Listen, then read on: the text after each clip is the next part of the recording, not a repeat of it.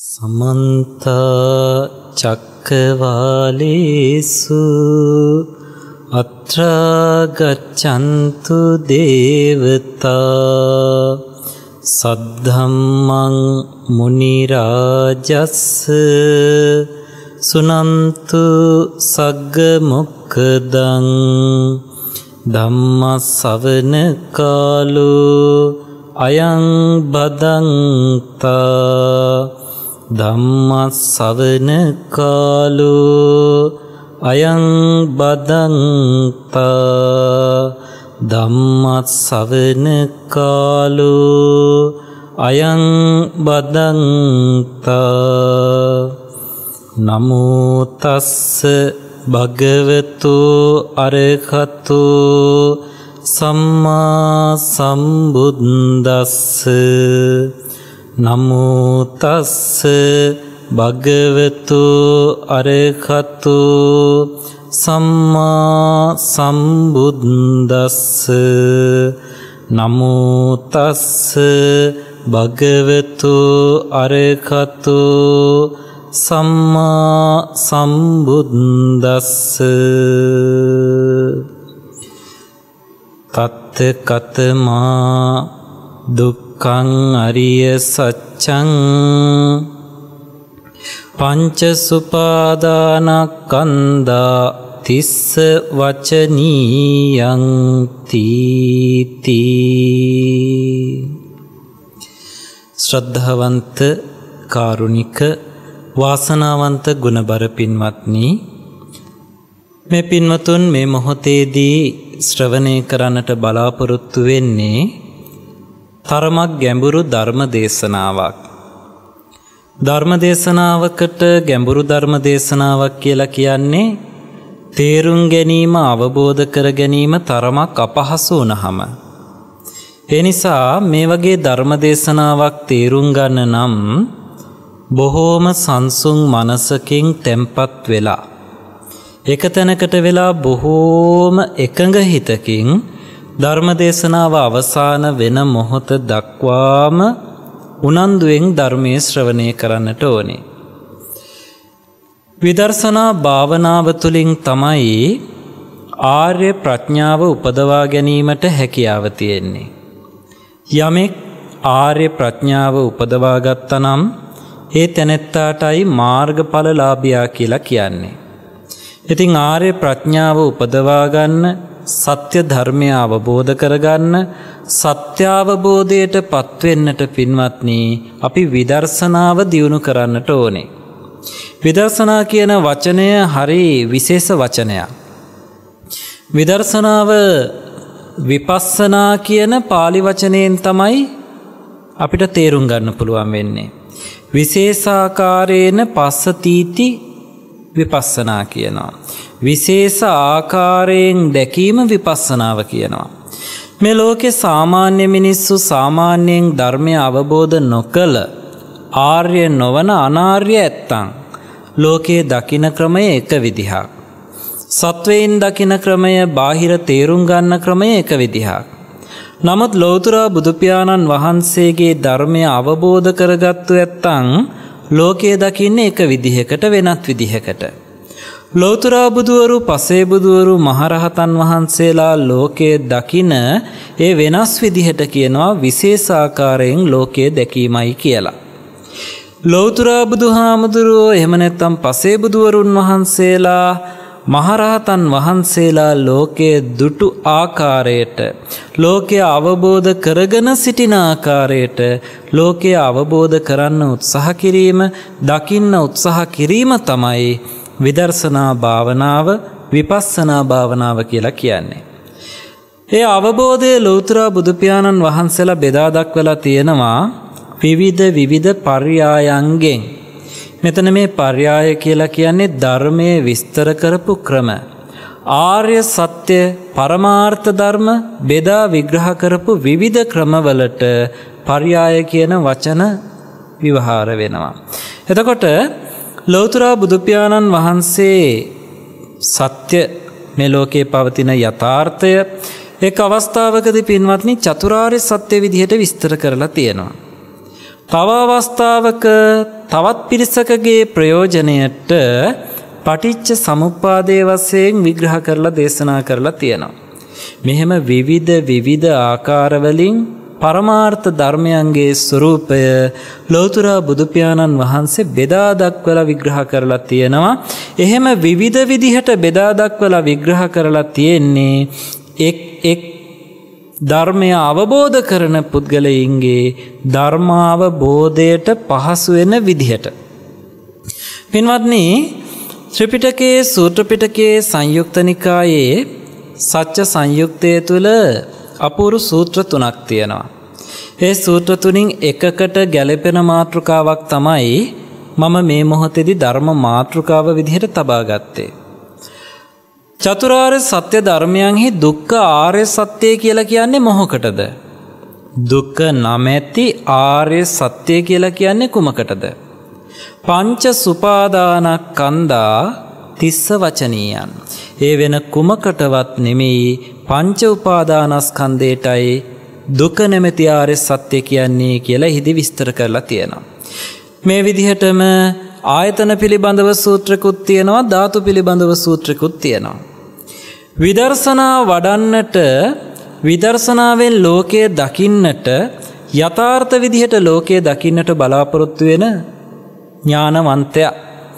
විශේෂයෙන්ම පින්වත්නි මෙන්න මේ ස්කන්ධ කියන ධර්ම කොට්ටාසේ පිළිබඳව පැහැදිලි වැටහීමක් ඇති කරගන්න ඕනේ. ස්කන්ධයන් පිළිබඳව එහෙම නැත්නම් පංචස්කන්ධය පංච උපාදානස්කන්ධය ආදී පිළිබඳව පැහැදිලි වැටහීමක් තේරුම් ගැනීමක් අවබෝධයක් නැතිව පින්වත්නි ධර්මය අවබෝධ කිරීම බොහොම අපහසු වෙනවා. දැන් මෙහෙම කියද්දි කෙනෙක් අහන්න පුළුවන් ලෞතුරා බුදුපාණන් වහන්සේගේ යුගයේදී සමහර ස්වාමින් වහන්සේලා කෙටි ගාථා පාඨයක් අහද්දිම සෝවාන් ආදී මාර්ගඵලවලට පත් වුණා. සමහරු අරහත්වයට පත් වුණා. සමහරු අනාගාමී වුණා සකු르දාගාමී වුණා. එතකොට ඒ ඇත්තෝ මේ විදිහට සීලයක පිහිටලා ධර්ම කරුණු ඉගෙනගෙන සමාධිය දියුණු කරලා විදර්ශනාවට ඕන කරන ස්කන්ධ ධාතු ආයතන බොහොම හොඳින් ග්‍රහණය කරගෙන ඒවා නැවත නැවත හේතුඵල ධම ඇසිරුණොත් ත්‍රිලක්ෂණයේ ඇසිරුණොත් මානසිකාරයේ යෙදුනේ නැහැ නේද කියලා කෙනෙක්ට ප්‍රශ්නයක් ඇති වෙන්න පුළුවන්. පින්වත්නි ලෞතුරා බුදුපාණන් වහන්සේ මේ විශ්වයේ ඉන්න ධර්මය අවබෝධ කරගන්න පුළුවන් පිරිස මිනිසුන් දෙවියන් ආදී පිරිස ප්‍රධාන වශයෙන් කොට්ටාස හතරකට බෙදුවා. කොට්ටාස හතරක් ඉන්නවා මේ ලෝකයේ විද්‍යමාන වෙනවා කියලා ලෞතුරා බුදුපාණන් වහන්සේ පැහැදිලි කළා. ඒ පිරිස තමයි පින්වත්නි උද්ඝාටිතඤ්ඤ විපචිතඤ්ඤ නෙය්‍ය පදපරම කියන පුද්ගල කොට්ටාස හතර. මෙතනදී මේ පුද්ගල කොට්ටාස හතරේ ඥානශක්තිය නුවණ කුසල හැකියාව එක එක මට්ටම් වල පවතින්නේ. දැන් මේන් පළවෙනි කොට්ටාසයට කියනවා උද්ඝටිත අඤ්ඤ කියලා. මේක අපි බෙදුවොත් එහෙම පද විදිහට උද්ඝාටිත ඤ කියලා බෙදන්න පුළුවන් වෙනවා. ඤ කියන්නේ අවබෝධ කරනවා වටහා ගන්නවා නුවණ උපදවා ගන්නවා. උද්ඝාටිත කියලා කියන්නේ විවර කර පෙන්වීම පමණින්. දැන් උද්ඝාටිත කියලා කියන්නේ වැස්ම ඉවත් කරනවා විවර කරනවා වගේ අර්ථයක්. ධර්ම මාතෘකාවේ කෙටි පද කිහිපයක් කියනවා. ධර්ම කරුණ විස්තර නොකර මාතෘකාව පද කිහිපයකින් කියනවා.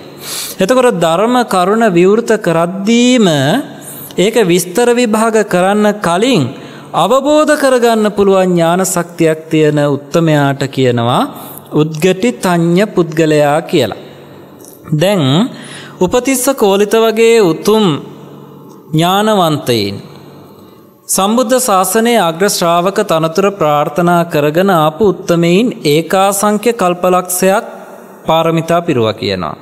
එහෙම නුවණ දියුණු කරලා හිටපු මේ උත්තමයින්ට යේ ධම්මා හේතුප්පබවා තේසන් හේතුන් තථාගතෝ ආහ කියන ගාථා පද දෙක ඇහෙද්දි උපතිස්ස පරිබ්‍රාජකයාත් තේසංච යෝ නිරෝධෝ ඒවංවාදී මහා සමනෝ කියන පද හතරම ඇහෙද්දී කෝලිත පරිබ්‍රාජකයාත් අවබෝධයට පත් වනා කියනවා. අන්න එහෙම ධර්ම මාතෘකාව විවර කරද්දීම ධර්ම මාතෘකාව පදකීපයකින් කිහද්දීම ධර්මය අවබෝධ කරන ඇත්තන්ට කියනවා උද්ගටි තඥ කියලා. උද්ඝාටිතඥ කියන පද දෙක එකතු වෙලා හැදෙනවා උද්ගටි තඥ කියන පදේ. තියුණු නුවණ තියෙන ධර්මානුකූල සියුම් ප්‍රඥාව තියෙන ඇත්තන්ට තමයි ඒ තත්ත්වයේ හිමි වෙන්නේ. එතකොට ඔබ එවැනි කෙනෙක් නම් මේ විදිහේ නොයෙක් ධර්ම දේශනා අහලා තියෙන්න පුළුවන්. නොයෙක් විදිහේ ධර්ම සාකච්ඡාවලට සම්බන්ධ වෙලා තියෙන්න පුළුවන්. පොත්පත් කියවලා තියෙන්න පුළුවන්. ඔබ එවැනි තත්ත්වයක ඥානවන්තයෙක් නම් මේ වෙද්දි අවබෝධයට පත් වෙලා ඉන්නට ඕනේ. ඊට පස්සේ දෙවෙනි කොට්ටාසයට කියනවා විපචිතඤ්ඤ කියලා. පදේ බෙදෙන්නේ විපචිතඤ්ඤ කියලා. ඥ කියලා කියන්නේ කලින් වගේම නුවණ උපදවා ගන්නවා අවබෝධ කරගන්නවා වටහා ගන්නවා. විපචිත කියලා කියන්නේ කොටස් කර කර බෙද බෙදා විග්‍රහ කරනවා කියන අර්ථය. ධර්ම කාරණයක් පිළිබඳව කොටස් කර කර බෙද බෙදා විස්තර කරලා පැහැදිලි කරලා පැහැදිලි කරලා දේශනා කරන දීර්ඝ දේශනාවක් අවසානයේ අවබෝධයට පත්වෙන ඇත්තෝ විපචිතඥ පුද්ගලයෝ. එයත්තන්ගෙත් නුවණ හරීම තියුණුයි. ඔබ දන්නවා පොක්කුසාති කියලා රජ කෙනෙක් ලෝතුරා බුදුපියාණන් වහන්සේ පිළිබඳව අහන්නට ලැබිලා පැවිදි ජීවිතයට පත් වුණා. එතුමා දුරකතර ගෙවාගෙන ආවා ලෝතුරා බුදුපියාණන් වහන්සේ දුටුවා පොක්කුසාති පැවිද්දෙක් බවට පත් වෙලා දුරකතර ගෙවාගෙන ලෝතුරා බුදුපියාණන් වහන්සේ හොයාගෙන එනවයි කියලා. එතුමාගේ ආයුෂ ගෙවිලා තිබුණු හින්දා ලෝතුරා බුදුපියාණන් වහන්සේ මගක් පෙරමගට වැඩම කළා.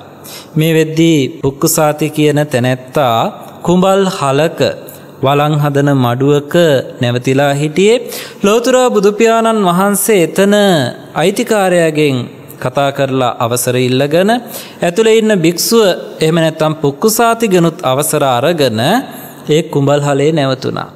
පින්වත්නි මේ මොහොතේදී ලෞතුරා බුදුපියාණන් වහන්සේ පෙනී සිටියේ සාමාන්‍ය පැවිද්දෙක් විදිහට.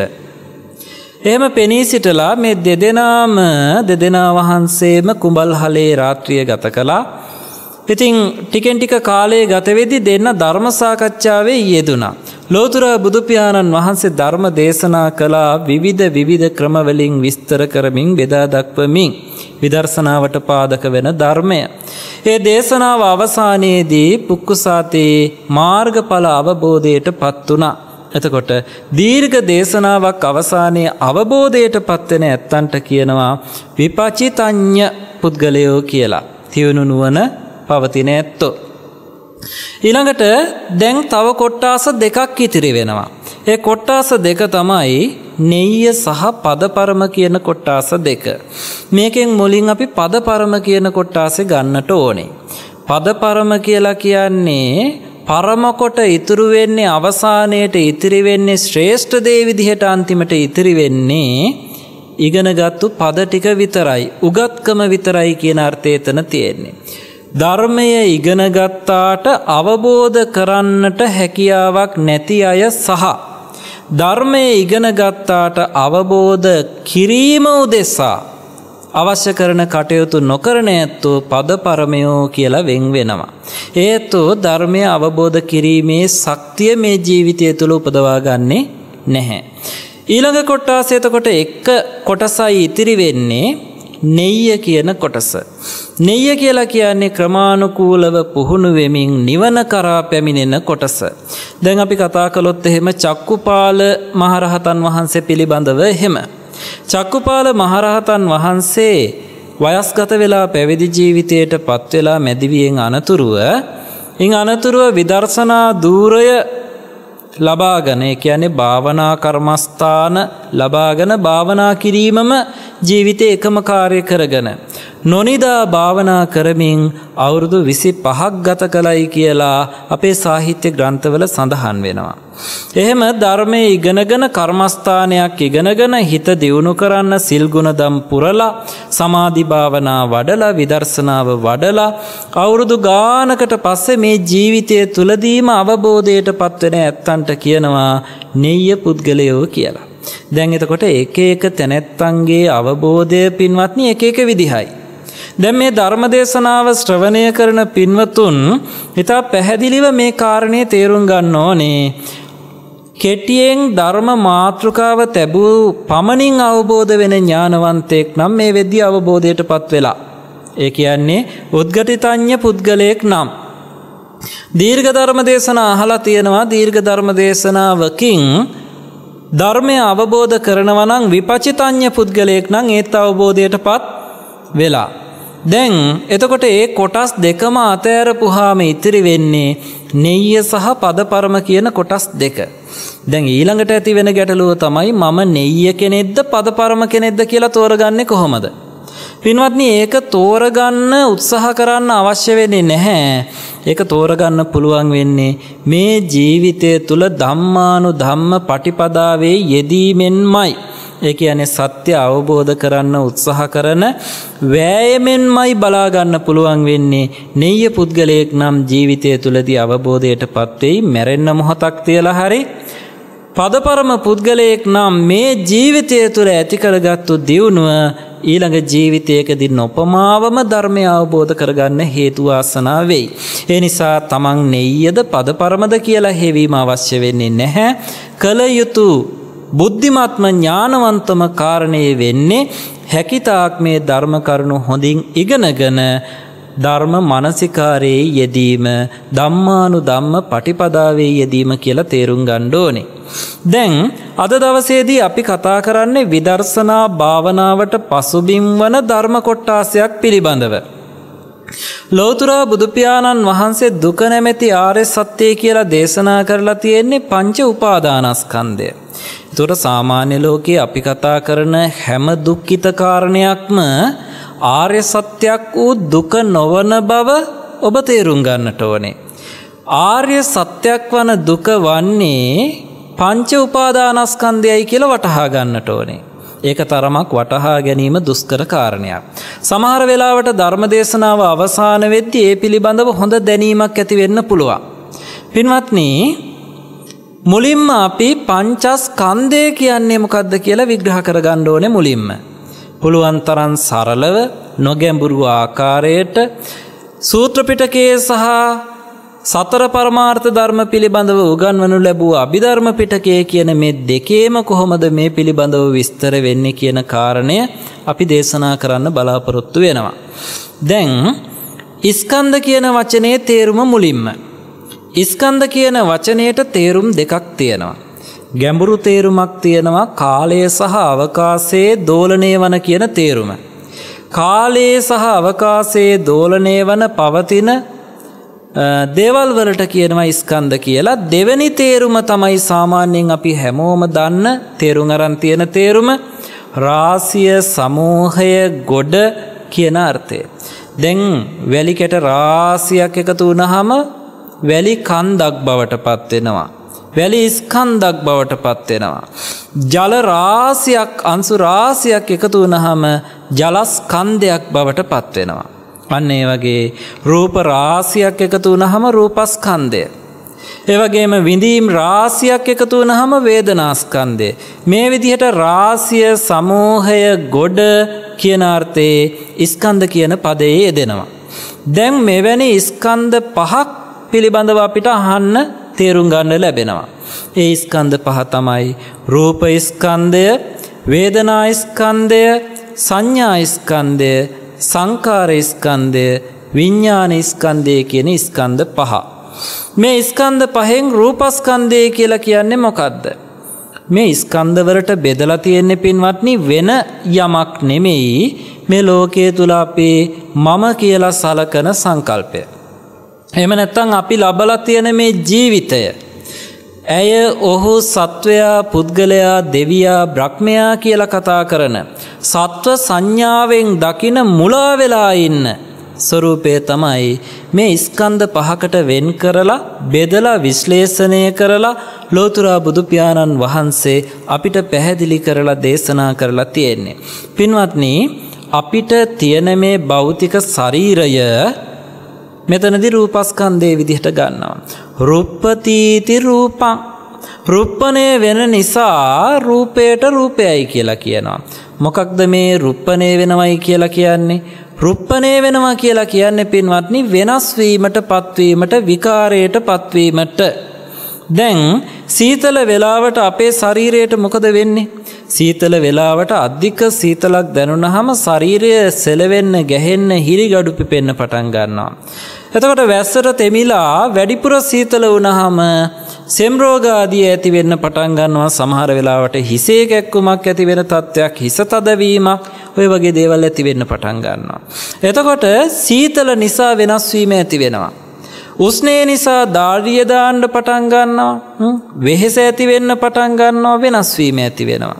එතකොට සර්පයින් දෂ්ට කරපුහාම මැසිමදුරු වදුරු වලින් ලෙඩ රෝග හැදීම් වලින් මේ විදිහට විසම ප්‍රත්‍ය හේතු කරගෙන විකාරයට වෙනස් වීමට වෙනස් වෙන්නට හේතු වෙන දේවල් පත් වෙන දේවල් වලට කියනවා රූපයි කියලා.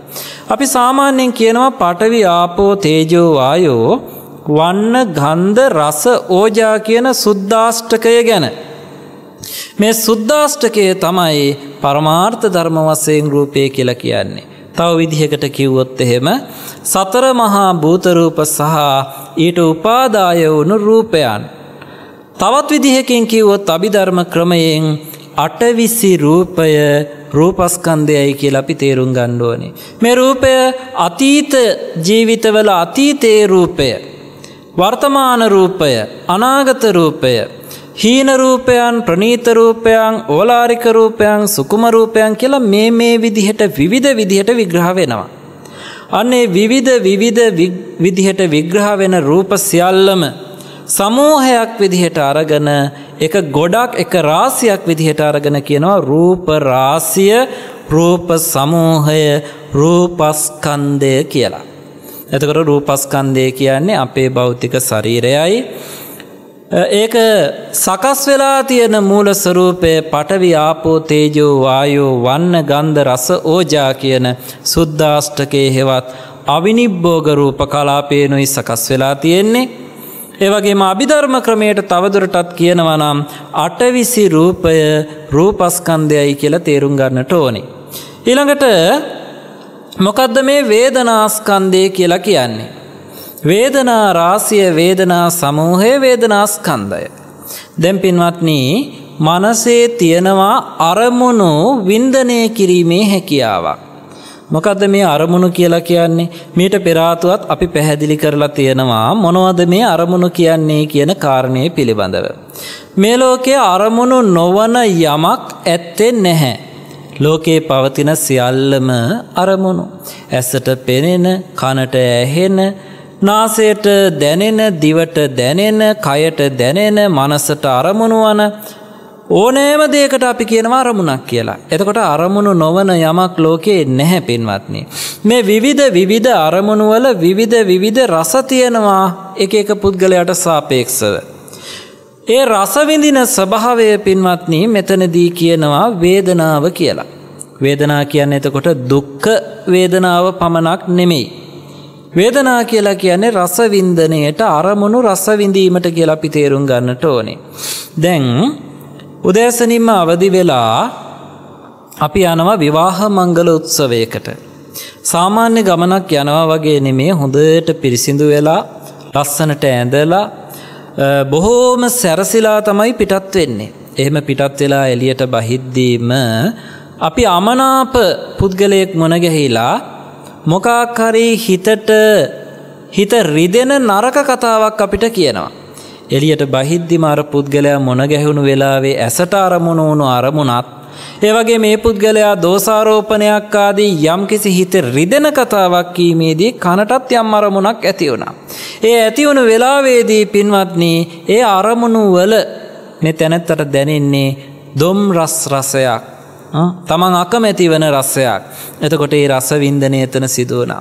කවුරු හරි මේ විදිහටම සූදානම් වෙලා එළියට බහිද්දි ප්‍රියමනාප කෙනෙක් හම්බිලා අපේ අද හරීම ලස්සනයි. අවුරුදු පහකින් විතර තරුණ පෙනුමයි.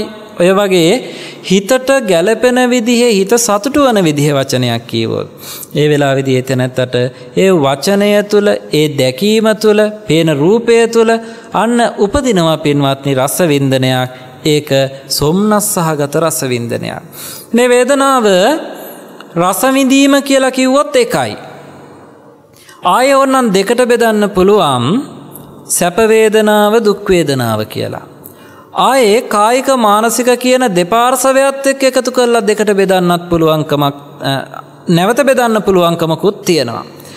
ඊට කලින් මේක තුනට බෙදන්න පුළුවන් සැපවේදනාව උපේක්ෂාවේදනාව දුක්වේදනාව කියලා. අර කලින් කියපු විදිහට කායික මානසික පාර්ශවවලට බෙදලා කියන්නේ නාම සහ රූප කියන දෙකට වෙන් කරලා දුක්ඛ වේදනා, දෝමනස්ස වේදනා, සුඛ වේදනා, සෝමනස්ස වේදනා, අදුක්කම සුඛ වේදනා කියලා පහකට බෙදන්න පුළුවන්. මේක තව තව ඉදිරියට විග්‍රහ කරන්න පුළුවන්. අතීත වේදනාව, වර්තමාන වේදනාව, අනාගත වේදනාව, එවැගේම හොඳයි ප්‍රනීතයි කියලා සලකන විඳීම් හොඳ නැහැ හීනයි කියලා සලකන විඳීම් ඕලාරික වින්දන සූක්ෂම වින්දන මේ ආදී විවිධ ප්‍රභේද තියෙන විඳීම් සමූහයක් ගොඩක් රාශියක් විදිහට අරගෙන කියනවා වේදනා ස්කන්ධයයි කියලා. අභිධර්ම ක්‍රමයට කීවොත් එහෙම චෛතසික 52 තුල තියෙනවනේ වේදනා කියලා චෛතසිකයක්. අන්නේ කියන වේදනා චෛතසිකය මෙන්න මෙතනදී වේදනා ස්කන්ධයට අයිති වෙනවා. ඊළඟට අපි කතා කරන්න ඕනේ මොකද්ද සංඥා කියලා කියන්නේ කියලා. පින්වත්නි අරමුණු වල රස විඳිනවා වගේම අරමුණු වල ආකාරය ගැනීමේ හැකියාවක් මනසට පවතිනවා. දැන් මේ ලෝකයේ සිටින සියලුම කාන්තාවන් අතර කුඩාම දරුවෙක්ට වුණත් තමන්ගේ අම්මා කියන සංඥාව පැහැදිලිව වැටහෙනවා.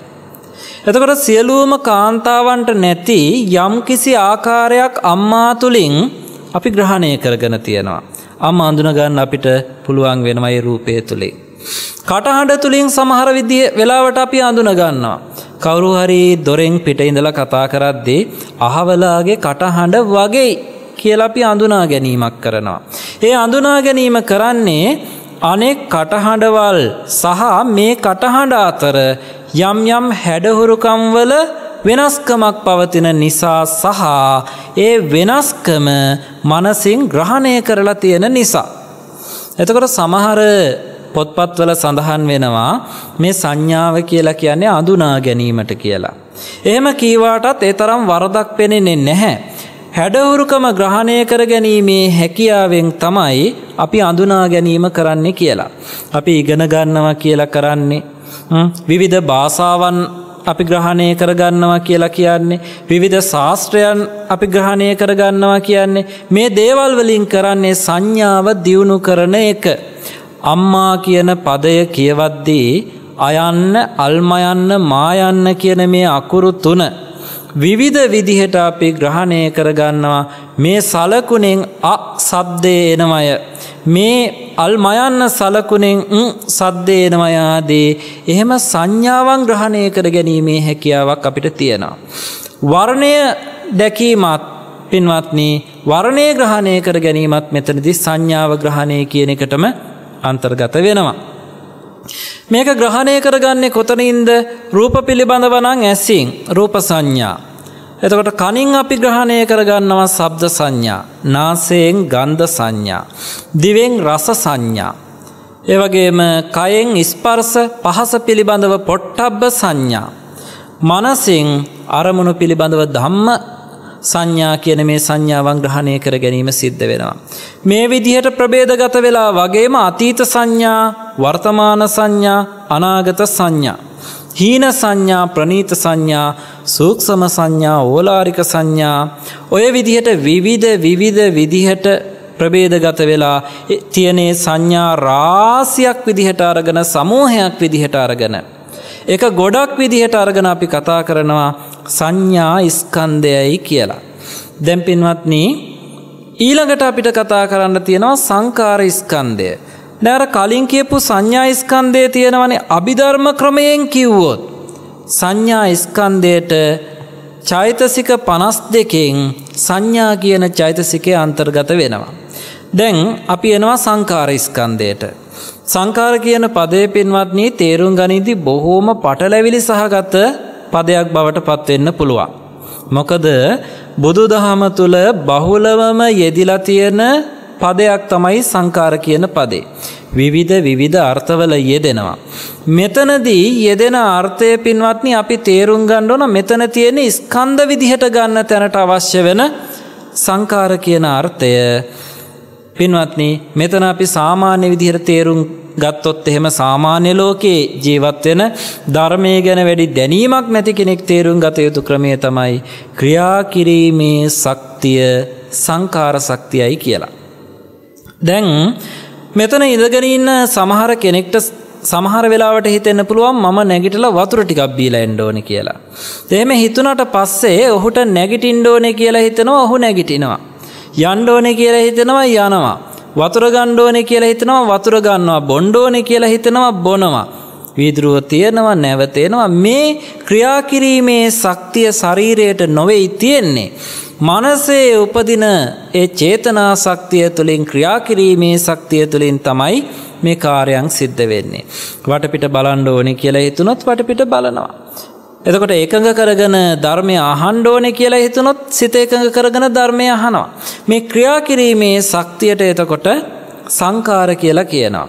අභිධර්ම ක්‍රමයට තේරුම් ගත්තොත් එහෙම මේක පැහැදිලිවම තේරුම් ගන්න ඕන වෙන්නේ චෛතසික පරමාර්ථයේ චෛතසික 52කින් ඉතිරි වෙච්ච චෛතසික 50 සංකාර ස්කන්ධයට අයිති කියලා අපි තේරුම් ගන්නට ඕනේ. මොකද මේ ඉතිරි වෙච්ච චෛතසික 50 කියන්නේ වේදනා චෛතසිකේ වේදනා ස්කන්ධයට අයිති කිව්වා. සංඥා චෛතසිකය සංඥා ස්කන්ධයට අයිති කිව්වා. දැන් කතා කරන මේ සංකාර ස්කන්ධයට ඉතිරි වෙච්ච චෛතසික 52ම අයිති වෙනවා පින්වත්නි. ඊළඟට විඥාන ස්කන්ධය විඥාන කියලා කියන්නේ දැනීම් ශක්තියට. සාමාන්‍ය ලෝකයේ අපි කතා කරොත් එහෙම හිතට. දැනීම් ශක්තිය හිත කියලා කියන එක අර විජානාතිකෝ විඥානම්. දැනගන්නවා විජානනය කරනවා කියන අර්ථයෙන් තමයි විඥානය කියන්නේ. ඇසින් රූප පිළිබඳව දැනීම කනින් ශබ්ද පිළිබඳව දැනීම නාසයෙන් ගන්ධයන් පිළිබඳව දැනීම ආදී විදිහට දැනීම අපිට ලැබෙනවා. රූපයන් පිළිබඳව දැනීම ඇති වෙද්දී අපි කියනවා දකිනවා කියලා. ශබ්ද පිළිබඳව දැනීම ඇති වෙද්දී කියනවා අපි අහනවා කියලා.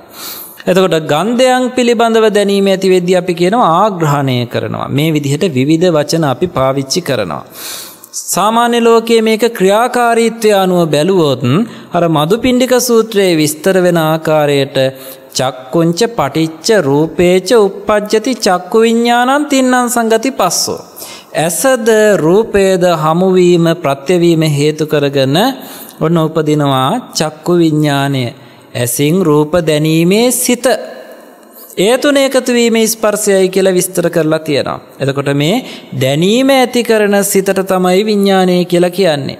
අභිධර්ම ක්‍රමයට සතර පරමාර්ථ එක්කලා විග්‍රහ කරලා ගත්තොතින් එහෙම සම්පූර්ණයෙන්ම චිත්ත පරමාර්ථයේ සිත් 89කට බෙදෙනවනේ. ඒ 89ක් වුණු සිත් පින්වත්නි විඤ්ඥාන ස්කන්දයට අන්තර්ගත වෙනවා. අතීත විඤ්ඥානය වර්තමාන විඤ්ඥානය අනාගත විඤ්ඥානය ඕලාරික සුකුමාදී මේ විවිධ ප්‍රබේද ඇතිව. මේ විඤ්ඥාන රාසියම එකක් විදිහට අරගෙන අපි කියනවා විඤ්ඥානස්කන්දය කියලා. දැම් මේ කියපු පංචස්කන්දය ස්කන්ද පහ රූපස්කන්දය පින්වත්න්නේ රූප යන්නට අන්තර්ගත වෙනවා. ඉතිරි හතරම නාම යන්නට අන්තර්ගත වෙනවා. නාමරූප පිළිබඳව ආත්ම සංඥාව පුද්ගලයා තුළ තියෙනවා. අන්නේ ආත්ම සංඥාව නැතිකිරීම සඳහායි පින්වත්නි ලෝතුරා බුදුපාණන් වහන්සේ මේ විදිහට ඉස්කන්ද විදිහේ බෙදා දැක්වීමක් සිද්ධ කරලා තියෙන්නේ. ඉස්කන්ද වෙන වෙනම ගත්තහම වෙන වෙන මාරගන එව්වල ලක්ෂණ මෙනෙහි කරපුහාම. එව්වා හටගන්න විදිහ එකිනෙකට ප්‍රත්‍ය වෙන විදිහ උපදින හැටි පවතින හැටි නැසිලා යන හැටි අනිත්‍ය වෙන හැටි දුක් සහිත වෙන හැටි අනාත්ම වෙන හැටි මෙහෙම නැවත නැවත මෙනෙහි කරපුහාම රූපස්කන්ධය තුලත් ආත්ම ස්වභාවයක් නැත වේදනා ස්කන්ධය තුලත් ආත්ම ස්වභාවයක් නැත. මේ ආදී විදිහට මේ ස්කන්ධ පහ තුලම ආත්ම ස්වභාවයක් හෝ මම යන ස්වභාවයක් නොමැති බව අවබෝධ කරගන්නට හැකියාව ලැබෙනවා. එහෙම අවබෝධ කරගත්තහම තමයි සක්කාය දිට්ඨිය නැති වෙන්නේ. ඔබ දන්නවා ධර්මය අවබෝධ කරන්නට තියෙන ලොකුම බාධකය සක්කාය දිට්ඨිය. ප්‍රබලම සංයෝජනයක් විදිහට තියෙනෙ සක්කාය දිට්ඨිය. ඒ වගේම සතර අපාය උපදින්නට හේතු වෙන ප්‍රබලම සංයෝජනයත් අපාය බීජය කියලා කතා කරන්නේත් මේ සක්කාය දිට්ඨියට සතර අපායෙන් මිදෙන්න කැමති ඇත්තෝ සක්කාය දිට්ඨිය නැති කරන්නට නම් අනිවාර්යයෙන්ම මේ ස්කන්ධ ධර්මයන් පිළිබඳව හොඳ වැටහීමක් ඇති කරගන්නට ඕනේ. ඒ පිළිබඳව තව චුට්ටක් අපි ඉදිරියේදීත් කතා බහ කරන්න බලාපොරොත්තු වෙනවා. දැන් ඊළඟට අපිට තව ගැටලුවක් විසඳ ගන්න තියෙනවා. මොකක්ද ඒ ගැටලුව දැන් පංචස්කන්ධය පිළිබඳව කතා කළා. අපි අහලා තියෙනවා පංච උපාදානස්කන්ධය පංච උපාදානස්කන්ධය කියලා. මේ පංචස්කන්ධය සහ පංච උපාදානස්කන්ධය කියන්නේ එකකටමද? නැත්නම් පංචස්කන්ධය පංච උපාදානස්කන්ධය කියන්නේ දෙකක්ද? මේ දෙක භින්න වෙච්ච දෙකක්ද සම්බන්ධ වෙච්ච දෙකක්ද මෙහෙම විවිධ ප්‍රශ්න අපිට ඇති වෙන්න පුළුවන්. එක්තරා ස්වාමින් වහන්සේ කෙනෙක් ලෞතුරා බුදුපාණන් වහන්සේගෙන් අසා සිටියාලු. සූත්‍රපිටකේ සඳහන් වෙනවාය. භාග්‍යවතුන් වහන්ස පංච උපාදානස්කන්ධය පංච උපාදානස්කන්ධය කියලා කියනවා. උපාදානය පංචස්කන්ධයෙන් වෙන් වූ එකක්ද? නැත්නම් පංචස්කන්ධයෙන් තොරව උපාදානය පවතිනවාද කියන වචනය ඇහැව්වලු ඒ වෙලාවේදී ලෞතුරා බුදු පියාණන් වහන්සේ මේ කාරණේ හොඳට පැහැදිලි කරලා තියෙනවා. පංච උපාදානස්කන්ධයයි පංචස්කන්ධයයි කියන මේ දෙකේදී ඔබට වුණත් පැහැදිලිව පේනවා වචනක වෙනසක් තියෙන්නේ. ඒ වචනෙට කියනවා උපාදාන කියලා. උපාදානය කියලා කියන්නේ චන්දරාගයටයි කියලා භාග්‍යවතුන් වහන්සේ පැහැදිලි කරලා තියෙනවා. අභිධර්ම ක්‍රමයට කිව්වොත් නම් තෘෂ්ණා දිට්ටි කියන චෛතසික දෙක. තෘෂ්ණාවෙන් ග්‍රහණය කරගන්නවා දිට්ටියෙන් ග්‍රහණය කරගන්නවා. එතකොට ලෝතුරා බුදු පියාණන් වහන්සේ පැහැදිලි කරනවා පංචස්කන්ධය පිළිබඳව යම් චන්දරාගයක් මම මගේ කියලා චන්දරාගයක් තියෙනවා නම් අන්න ඒකයි පංච උපාදානස්කන්ධය කියලා. දැන් අභිධර්ම වශයෙන් ගත්තොත් ධර්මතා වශයෙන් ගත්තොත් තව විදිහකින් කිව්වොත් පරමාර්ථ ධර්ම වශයෙන් ගත්තොත් උපාදාන කියලා කියන්නේ තෘෂ්ණා දිට්ටි කියන දෙකට කියලා කිව්වනේ. තෘෂ්ණාව කියලා කියන්නේ ඇලීම ආසාව ඒ තුලින් ග්‍රහණය කර ගැනීම. දිට්ටි කියලා කියන්නේ අනවබෝධය වර්ධවා ගැනීම. ඒ තුලින් ග්‍රහණය කර ගැනීම.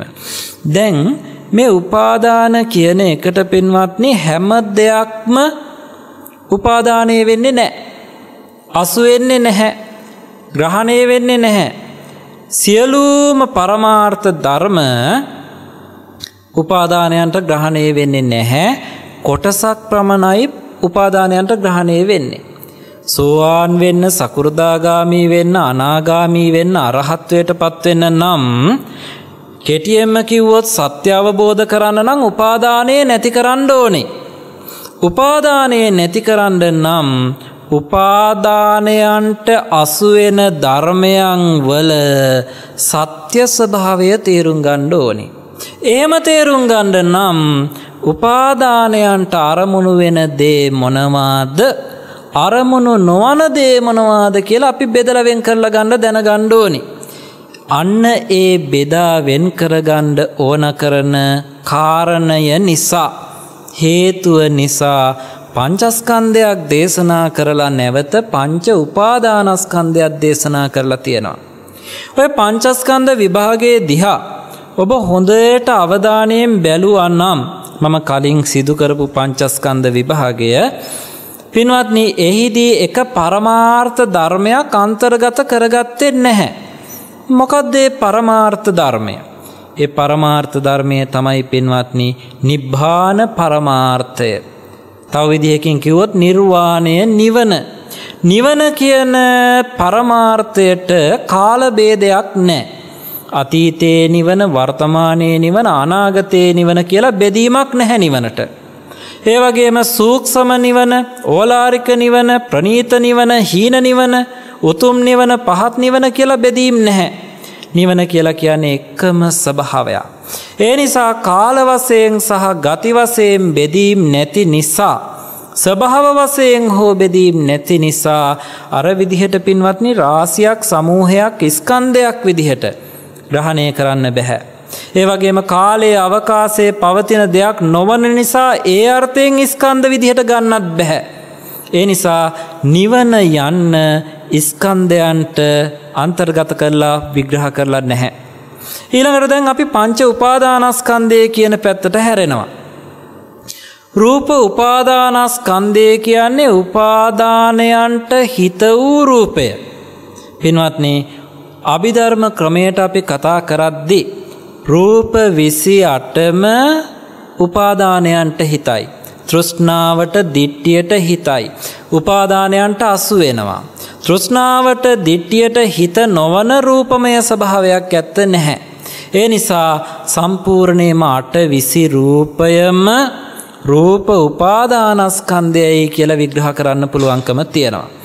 ඊළඟට මොකද්ද වේදනා උපාදානස්කන්ධය කියලා කියන්නේ. මොකද්ද සංඥා උපාදානස්කන්ධය කියන්නේ. මොකද්ද සංකාර උපාදානස්කන්ධය කියන්නේ කියන තුන තේරුම් ගන්නට ඊටාම පහසු වෙනවා. මොකද්ද විඥාන උපාදානස්කන්ධය යන්නෙන් අදහස් වෙන්නේ කියනක තේරුම් ගන්න එක. විඤ්ඥානස්කන්දයට අයිති වුණේ පංචස්කන්ද විභාගයේදී. විඤ්ඥානස්කන්දයට අයිති වුණේ. පින්වත්නි අසූ නමයක් වුණු සිත් චිත්ත පරමාර්ථයේ අසූ නමයක් වුණු සිත්. මේ සිත් ඔබ දන්නවා භූමි වසයෙන් කොටස් හතරකට බෙදෙනවා. කාමාවචර සිත් රූපාවචර සිත් අරූපාවචර සිත් ලෝකෝත්තර සිත් කියලා. කාමාවචර සිත් කියන්නේ කාමයන් ඇසුරු කරගත්තු සිත් පනස් හතරට. රූපාවචර සිත් කීවේ රූපාවචර ධ්‍යාන ආශ්‍රයෙන් උපදින සිත් පහළවට. අරූපාවචර සිත් කිවේ අරූපාවචර ධ්‍යාන ආශ්‍රයෙන් උපදින සිත් දොළහට. ලෝකෝත්තර සිත් කිව්වේ මාර්ග පල සිත් අටට. මොනවද මාර්ග පල සිත්තට සෝවාන් මාර්ගසිත සෝවාන් පලසිත. සකෘදාගාමී මාර්ගසිත සකෘදාගාමී පලසිත. අනාගාමී මාර්ගසිත අනාගාමී පලසිත. අරිහත් මාර්ගසිත අරිහත් පලසිත. මෙන්න මේ විදියට විග්‍රහ වෙන සිත් නිවනට සම්බන්ධ අවබෝධයට සම්බන්ධ දේවල්. අවබෝධයට සම්බන්ධ වනු ඒ සිත් අට පින්වත්නි උපාදානයන්ට හිත වෙන්නේ නැහැ.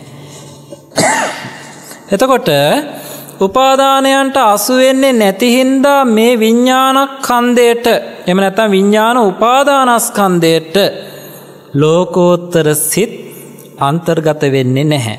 ඊට අයත් වෙන්නේ ලෞකික සිත් ටික විතරයි. අසූ නමයෙන් සිත් අටක් අඩුකරපුහාම පින්වත්නි ලෞකික සිත් අසු එකක් ඉතිරි වෙනවා. අන්නේ ලෞකික සිත් අසූ එක තමයි උපාදානයන්ට හිත උපාදානස්කන්දය විඤ්ඥාන උපාදානස්කන්දය බවට පත්වෙන්නේ. දැන් ඊළඟට අපිට හරිම පහසුයි වේදනා සංඥා සංකාර කියන උපාදානස්කන්ද තේරුම් ගන්න. කොහමද අර ලෞකික සිත් අසූ එකේ මිශ්්‍ර වෙලා යෙදිලා තියෙන වේදනා චෛතසිකය වේදනා උපාදානස්කන්දයයි. ලෞකික සිත් අසූ එකේ මිශ්්‍රවෙලා යෙදිලා තියෙන සංඥා චෛතසිකය සංඥා උපාදානස්කන්දයයි. ලෞකික සිත් අසූ එකේ මිශ්්‍රවෙලා යෙදිලා තියෙන ඉතුරු චෛතසික පනසම සංකාරයිස්කන්දයයි කියල බෙදා වෙන් කරගන්න පුළුවන්කම ලැබෙනවා පින්වත්න්නේ. දැන් එතකොට ඔබට හොඳටම මේ කාරණය පැහැදිලි වෙනවා. කොහමද පැහැදිලි වෙන්නේ පංචස්කන්දය කියලා කියපුහාම ඒකට නිවන හැර සියලූම පරමාර්ථයන් ඇතුළත් වෙනවා. සියලූම ධර්ම කොට්ටාසයන් ඇතුළත් වෙනවා. හැබැයි පංච උපාදානස්කන්දය කියපුහාම ලෞකික ධර්ම කොට්ටාසයන් පමණයි ඊට ඇතුළත් වෙන්නේ. මොකද ලෞකික ධර්ම කොට්ටාසයන්ට තමයි සත්වයා තුළ උපාදානය ඇතිවෙන්නේ තෘෂ්ණාව දිට්ටිය ඇතිවෙන්නේ කියලා අපි තේරුම් ගණ්ඩ ඕනේ. එතකොට පින්වත්න මං අර කලින් කියාගෙන ඇවිල්ලා නතර කරපු කොටස තියෙනවා. මේ විදිහට පංචස්කන්දය පංච උපාදානස්කන්දය විදිහට විග්‍රහ කරේ ඇයි සත්‍යාව සත්වයාව. පින්වත්න දැන් අපි රූපය තුළින් තමයි මම යන්න ග්‍රහණය කරන්නේ. බොහෝ අය රූපය ආත්මය කරගෙන හිතනවා. දැන් කෙනෙක් මරණයට පත්වනහම අර මල සිරුර බදාගෙන අඩනවා. දාලයන්ඩ එපෝ අතෑරලයන්ඩ එපෝ කියලා කෑගහනවා. එතකොට එහිදී දාලයන්ඩ එපා අතෑරලයන්ඩ එපා කියලා මේ බදාගන දඟලන්නේ අර රූපය. රූපය තුළින් සත්ව සංඥාවේ තැනැත්තට ඇති වෙලා රූපය ආත්මය කරගෙන. තමන් සම්බන්ධ කාරණයක් ගත්තොත් එහෙම. දැන් යම්කිසි ස්ථානයක විවාහ මංගල උත්සවයක් පැවැත්වෙනවා ඒ විවාහ මංගල උත්සවේ රූගත කරනවා. රූගත කරලා ඒ වීඩියෝ පටය අරංආපුහාම අපි බලාගෙන ඉන්නවා කොතනද මම ඉන්නේ කියලා. තුර මෙන්න මෙයා මෙතන ඉන්නවා අං අතන නටනට අරයා ඉන්නවා අර බලන්ඩ එයා නටන හැටි මේ විදියට රූපය තුළින් පුද්ගලය අඳුන ගන්නවා. එතකොට තමන්ගේ රූපය පෙනෙන තැනදි අන්න අන්න මමත් ඉන්නවා කියලා අඳුන ගන්නවා. ඡායාරූපයක් දැක්කත් මේ ඉන්නේ මම නේද කියලා ග්‍රහණය කරනවා. එතකොට රූපය ආත්මය වශයෙන් දැකීම. රූපය මම වසයෙන් ග්‍රහණය කර ගැනීම තියෙනවා. එතකොට දැන් මේ ආත්ම දෘෂ්ටිය මම කියන දෘෂ්ටියන මෙතනදී සක්කාය දිට්ටියට අයිති වෙන්නේ. අන්නේ දෘෂ්ටිය නැති කරන්න රූපය රූප රාසියක් විදිහට බෙදලා විග්‍රහ කරලා එව්වල යථා ස්වභාවය පටිච්ච සමුප්පාදයටත් ත්‍රිලක්ෂණයටත් අනුව මෙනෙහි කරන්නට බුදුපාණන් වහන්සේ අපිට උපදෙස් දෙනවා. ඊළඟට වේදනාව ගැන ගත්තොත් එහෙම විඳින්නේ මම.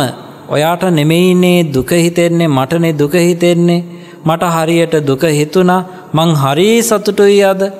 එතකොට සතුට විඳින්නේ දුක විඳින්නේ උපේක්ෂාව මැදහත් බව විඳින්නේ මමය. එහෙම නැත්නම් මා තුළ පවතින ආත්මයය. එහෙම නැත්නම් වේදනාවම ආත්මය ආදී විදිහට වැරදි වැටහීම් පුද්ගලයා තුළ ඇති වෙන්න පුළුවන්කමක් පවතිනවා. අන්නේ වැරදි වැටහීම් නැති කරන්න වේදනාව වේදනා රාසියක් විදිහට විග්‍රහ කරලා පෙන්නලා පින්වත්නි ඒ වේදනාව හටගන්නේ කොහොමද කියලා පැහැදිලි කරගන්න බුදුපාණන් වහන්සේ උපදෙස් දෙනවා. දැන් අර කලින් විස්තර කරපු මදුපිණ්ඩික සූත්‍ර පාඨය බලන්නකෝ. චක්කුංච පටිච්ච රූපේච uppajjati චක්කු විඤ්ඤාණං තින්නම් සංගති පස්සෝ කිව්වා. පස්ස පච්චයා වේදනා වේදනාව උපදින ආකාරය ඔන්න පැහැදිලි කරලා තියෙනවා. අර ප්‍රත්‍ය ටික හේතුඵල දහමට අනුව සකස් වෙච්ච නිසයි වේදනාව කියන එක හටගන්නේ. ඇසද රූපයද නිසා ඇසින් රූපය දැනීමේ ශක්තිය ඇති කරන චක්කු විඤ්ඥානය උපදිනවා. එතකොට ඇසයි රූපයයි විඤ්ඥානයයි තුන එකතු වනහම පස්සය ස්පර්සය ඇති වෙනවා. ඒ ස්පර්සය ප්‍රත්‍ය කරගන ඔන්න විඳීම් ඇති වෙනවා කියලා බුදුපාණන් වහන්සේ දේශනා කරනවා. එතකොට හේතු පල දහමට අනුව නම් වේදනාව හටගන්නේ හේතු වෙනස්වීමෙන් වේදනා නැතිවෙලා යනවයි කියලා අපි තේරුම් ගන්නට ඕනේ. සමහර වෙලාවට හිතේ යම් කිසි වේදනාවක් ඇතිවුණහම ඒ වේදනාව දරාගන්න බැරිව පුද්ගලයෝ දිවිනහගන්නවා වහබොනවා එල්ලිලා මැරෙන්න හදනවා. වේදනාව යනු හේතු ප්‍රත්‍යයන්ගෙන් හටගත්තු ඇතිවෙන නැතිවෙන ස්වභාවයක් කියලා තේරුම් අරං හිටපු එක්කෙනෙක් ඒ වේදනාව ඉවසා දරාගන්නවා. හේතු ප්‍රත්‍යයන්ගේ ස්වභාවය බලමින් ත්‍රිලක්ෂණයට අනුගත වෙලා මනසිකාරයේ යෙදෙමින් ඒක ඉවසා වදාරනවා. එතකොට වේදනාව තුළ ආත්මයක් නැතය විඳීම් විඳින්නෙක් නැතය වින්දනය ලබන්නෙක් නැතය ඒක හුදු ප්‍රත්‍යයන්ගේ ක්‍රියාකාරිත්වයක් පමණයි කියලා අවබෝධ කරගන්නට බුදු පියාණන් වහන්සේ අපිට මඟ පෙන්වනවා. ඊට පස්සේ සංඥා සම්බන්ධවත් එහෙමයි. රූප සංඥා සබ්ද සංඥා සංඥාවන් ග්‍රහණය කරගන්නේ මම කෙනෙක් යම් කිසි ශාස්ත්‍රයක් ශිල්පයක් පිළිබඳව ඉගෙනගෙන දන්නේ මම භාෂාවන් තේරෙන්නේ මට. මම හොඳට ඒ භාෂාව කතා කරන්න දන්නවා. මට හොඳට ඒ භාෂාවෙන් කියන දේ තේරෙනවා. මේ විදිහට සංඥාව පිළිබඳව පින්වත්න්නේ මමත්වයෙන් මානයෙන් ආත්ම දෘෂ්ටියෙන් කතා කරනවා. සංඥාව තුළයි මම ඉන්නේ. සංඥාව තුළයි ආත්මය තියෙන්නේ වගේ හැඟීම ඇති වෙනවා. සංඥාව ආශ්‍රයෙන් මම දකිනවා. අනිත් අයට වැඩිය මම උගත්. අනිත් අය මට වැඩියෙන් නූගත්. ඔන්න ඔය විදිහට දකිනවා. මෙන්න මේ ආත්ම දෘෂ්ටිය නැති කිරීම සඳහා සංඥාව බෙදා දක්වා පින්වත්නි විස්තර කරලා තියෙනවා. එයා හටගන්න විදිහ. යං වේදේති තං සංජානාති යමක් විඳිනවද එයා හඳුන ගන්නවා කියලා බුදුහාමුදුරෝ දේශනා කරලා තියෙනවා. එතකොට ප්‍රත්‍ය සමவாயෙන් තමයි මේ සංඥාවන් ඇති වෙන්නේ. ඒවා ඇති වී නැති වී යන සුළුයි. හේතුඵල දහමට අනුව ඇති වෙනවා. ඇති වෙලා වෙනස් වෙමින් ත්‍රිලක්ෂණයට අනුව පවතිනවා. ඊට පස්සේ නැති වෙලා යනවා. පටිච්ච සමුප්පාදය අනුවයි ත්‍රිලක්ෂණය අනුවයි සංඥාස්කන්දේ විග්‍රහ කරලා නැවත නැවත නුවනින් මනසිකාරයේ යෙදෙන්නට බුදු පියාණන් වහන්සේ අපිට උපදෙස් දෙනවා. ඊළඟට සංකාර ස්කන්දය. මේ සංකාර ස්කන්දයට පින්වත්නි පැහැදිලිවම චේතනා සහිත කර්මය සංචේතනාව අයිති වෙනවා. සමහරයි පින්කම් කරලා හරී සතුටු වෙනවා. දානයක් පූජා කරලා ඒ දානය දුන්නට පස්සේ ඒ දානය ලොකුවට කළා දම් දුන්නේ මම මම ලොකූ දානයක් දුන්නා කියලා සතුටු වෙනවා. පින පිළිබඳව සතුටුවීම ලෞකිකව පින්වත්නි බොහොම හොඳ දෙයක් විදිහට විග්‍රහ කරනවා. පිනක් කරලා සතුටුවීම අපරචේතනාව ප්‍රසාදයට පත්වීම පුුණ්‍ය විපාකයේ වැඩි දියුණු කරන්නත් හේතුවක් බවට පත්වෙනවා. හැබැයි සංකාර ස්කන්දය තුළින් ආත්ම දෘෂ්ටිය ගැනීම සත්‍යවබෝධයට හේතු වෙන්නේ නැහැ. ලෝකෝත්තර මාර්ගඵලයන් ශාක්ෂාත් කරන්න උපකාරි වෙන්නේ නැහැ පින්වත්න්නේ. දැන් ඔය ලබාගන්න සංකාර ශක්තියෙන් සියල්ලක්ම පින්වත්නි හේතුවන්ට අනුව ඇති වෙනවා පැවතෙනවා නැති වෙනවා. ලොකු පිනක් කලත් ඒවා විපාක දීලා නැති වෙනවා. බුදු පියාණන් වහන්සේ දේශනා කරනවා සංකාර කියන්නේ හරියට නිකන් කෙසෙල් කඳක් අරන් පතුරු ගහන්න වගේ කියලා. කෙසෙල් කඳක කිසි අරටුවක් නැහැ. ඒකේ තියෙන පොතු නිසා ඒක තියෙන පට්ටා නිසා ඒවා එකට එකතු වෙලා නිකං අපිට කඳක් විදිහට පෙරුණට හරි නිසරු දෙයක්. එක පට්ටයක් ගලෝලා වීසි කරනවා තව පට්ටයක් ගලෝලා වීසි කරනවා. එක කර්මයක් විපාක දෙනවා ඉවර වෙනවා. තව කර්මයක් විපාක දෙනවා ඉවර වෙනවා. සංකාර ශක්තියක් උපදිනවා නැති වෙනවා. තව සංකාර ශක්තියක් උපදිනවා නැති වෙනවා. මේ විදිහට පින්වත්නි බලද්දී සංස්කාරයන් තුළ ඇත්තටම ගත යුතු දෙයක් නැතයි කියලා අපිට තේරෙනවා. කෙනෙට්ට හිතනවා ආත්මය විසින් තමයි මේ රූප එහා මෙහා ගෙනියන්නේ. කර්ම කරන්නේ ආත්මය විසින්. රස විඳින්නේ ආසාවන් ඇතිවෙන්නේ ආත්මයට. තරහ ඇතිවෙන්නේ ආත්මයට. මේ විදිහට දෘෂ්ටි ඇති කරගන්නවා. පින්වත්තින් නැහැ ඒවා හේතුඵල දහමින්ම හේතුූන් ප්‍රත්‍යංවි සමවායෙන් ඇතිවෙන දේවල් විතරයි. දැන් අපි කෙනෙක්ට තරහක් ඇති වුණාම කෙනා මට හරියට තරහ ගිහිල්ලා තියෙන්නේ. කාටද තරහ ගිහිල්ලා තියෙන්නේ? මට. द्वේෂය ඇති වෙලා තියෙන්නේ කාටද? මට මම තමයි द्वේෂයෙන් යුක්ත වෙලා තියෙන. එතකොට द्वේෂය කියලා කියන්නේ සංකාරයක්. ඒ සංකාරය මම යන්න සම්බන්ධ කරලා අරගෙන තියෙනවා. හැබැයි द्वේෂය ඇති වෙන්නේ කොහොමද කියලා බුදු පියාණන් වහන්සේ දේශනා කරනවා. පටිග නිමිත්ත සහ අයෝනිසෝ මනසිකාරයේ හින්ද ද්වේෂය උපදිනවා. මෙතන මේ පටිග නිමිත්ත කියලා කියන්නේ ගැටෙන්නට සුදුසු අරමුණක්. එක එක පුද්ගලයාගේ ස්වභාවය අනුව ගැටීමට සුදුසු අරමුණක් ඒ තැනැත්තට අසු වෙනවා. එය නුවණින් මෙනෙහි කරන්නේ නැතිව අනුවණින් මෙනෙහි කරනවා. අයෝනිසෝ මනසිකාරයෙන් මෙනෙහි කරනවා ඒ ප්‍රත්‍ය දෙක එකතු වෙලා ඔන්න ද්වේෂය උපදිනවා. නුවණින් මෙනෙහි කරානම් අවබෝධ කරගන්නවා මිස ද්වේෂය උපදින්නේ නැහැ. මෙහෙම විවිධ විවිධ කොටස්වලට බෙදිලා තියෙන සංකාර රාසිය පින්වත්නි රාසියක් විදිහට තේරුම් අරගෙන එව්වා හේතුඵල දහමින් ඇතිවෙන ආකාරය එව්වා පවතින ආකාරය නැතිවෙන ආකාරය ත්‍රිලක්ෂණයට යටත් වෙලා පවතින ආකාරය නැවත නැවත නුවණින් මානසිකාරයේ යෙදෙන්න බුදුහාමුදුරුව අපිට උපදෙස් දෙනවා. බුදුපාණන් වහන්සේගේ උපදෙස් අනුව සංකාර ස්කන්ධය මානසිකාරයේ යෙදෙද්දී සංකාරස්කන්දය හුදු ක්‍රියාකාරිත්වයක් පමණි ඒ තුළ සත්ව පුද්ගල ස්වභාවයක් හෝ ආත්ම ස්වභාවයක් මම යන ස්වභාවයක් නැතය කියලා අපිට අවබෝධ වෙනවා. ඊළඟට විඤ්ඥාන ස්කන්දය බොහෝ දෙනෙක්ට මෙන මේ විඤ්ඥානයේ පිළිබඳව සිත පිළිබඳව තමයි ආත්ම දෘෂ්ටිය තියෙන්නේ.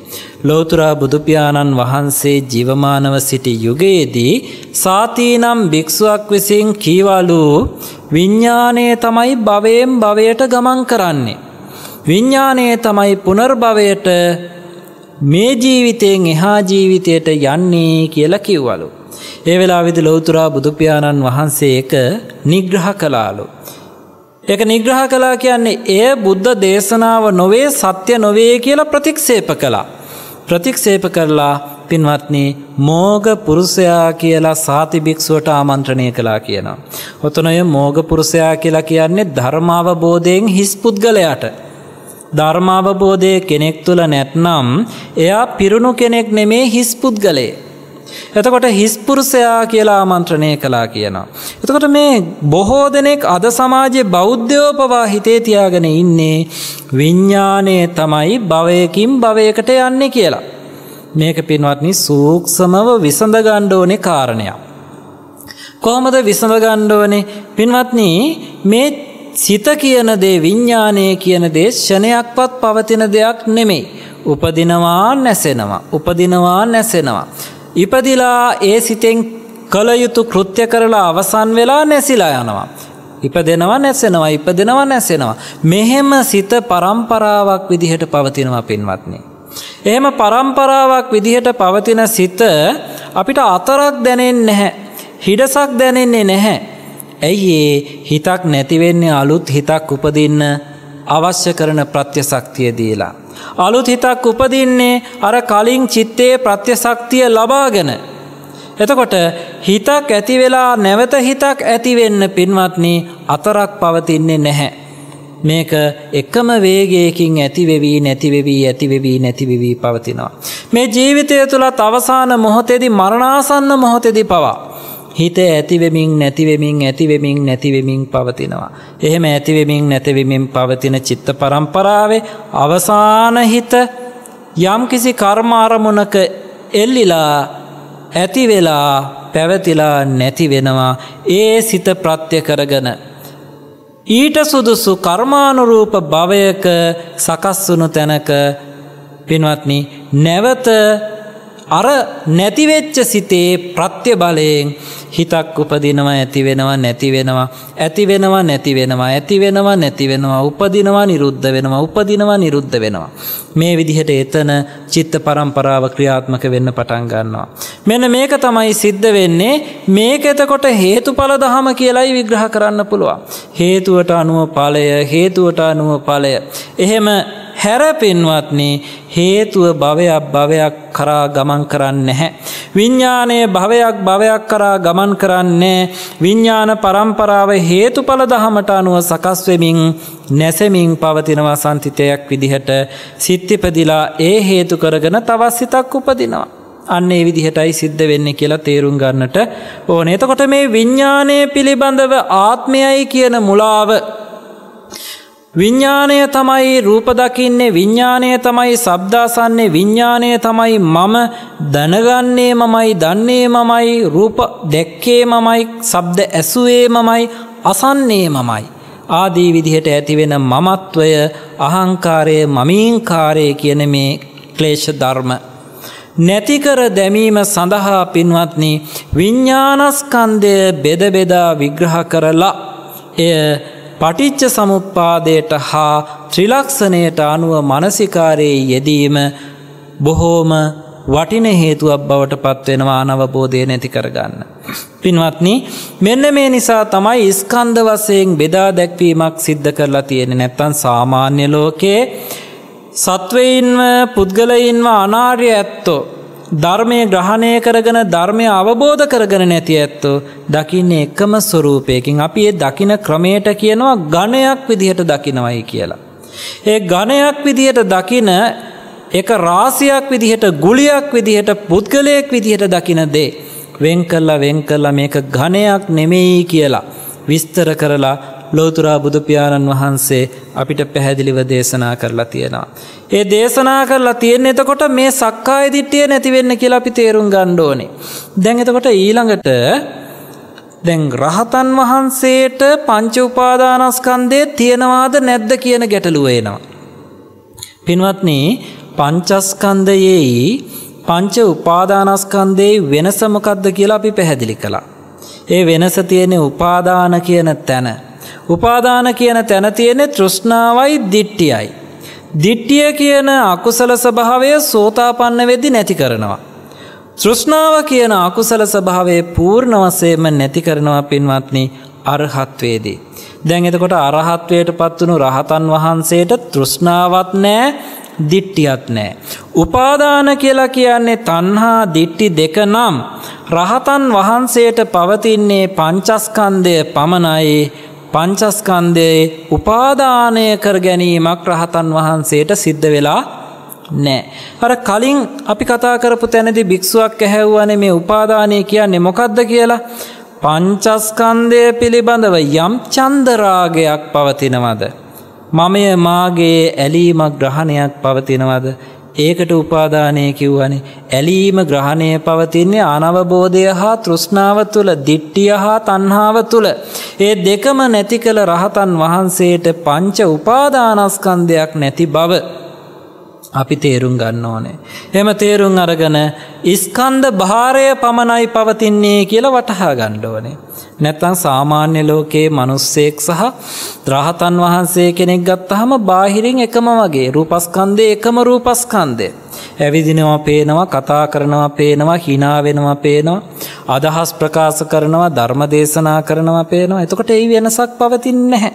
හැබැයි ඒ කිසිම ඉස්කන්දයක් තෘෂ්ණා දෘෂ්ටි වසයෙන් ක්ලේෂ වසඟයට පත්වීමක් රහතන් වහන්සේ තුළ නෑ. අපි පත්වෙන්ඩ උත්සාහ කරන්න ඕනේ අරහත්ස භාවයට. ඒ පත්වීම සඳහා බොහෝම අනතිමානී ගුණය තමන් තුළ ඇති කරගන. ධර්මය ඉගෙන ගණ්ඩ දක්ෂතාවයක් තමන් තුළ ඇති කරගන ක්‍රමාණකූලව ධර්මය ඉගෙන ගරමින් ධර්ම මනසිකාරයේ දෙන්න පුහුණු වෙන්ඩෝනේ. මේ ධර්මකරුණු ඉතාම පැහැදිලිව පින්වත්නේ ඉගෙන ගත්තහම හොඳින් විදර්ශනා වඩන්න පුළුවන්. විදර්ශනා වඩනවා කියලා කියන්නේ ප්‍රඥා ඉන්ද්‍රිය දියුණු කිරීම. ප්‍රඥා බලය දියුණු කිරීම. සම්මා දිට්ටිය දියුණු කිරීම. එහෙම නැත්නම් බොජ්ජංග ධර්මවල ධම්ම විචේ සම්බොජ්ජංගය දියුණු කිරීම කියලා ඔබ හොඳට තේරුම් ගන්න ඕනේ. ඒ ධර්මයන් දියුණු නොකර කෙනෙක්ට අවබෝධයට පත්වෙන්න බැහැ. ඉබේ අවබෝධයට පත්වෙන්නේ නෑ ඊට ප්‍රතිපදාවක් පවතිනවා. ඒ ප්‍රතිපදාව තුළ අපි දියුණුවට පත්වෙන්නට ඕනේ. මින් ඉදිරි දේශනාවලදිත් අපි බලාපොරොත්තු වෙනවා පින්වත්නී විදර්ශනා වඩන යෝගාවචරයාට අවශ්‍ය වෙන ධර්ම කොට්ටාසයන් මේ විදිහට වෙන්වෙන් කරලා පැහැදිලි කරලා දේශනා කරන්නට. තිං අද දේශනා වෙද්දි.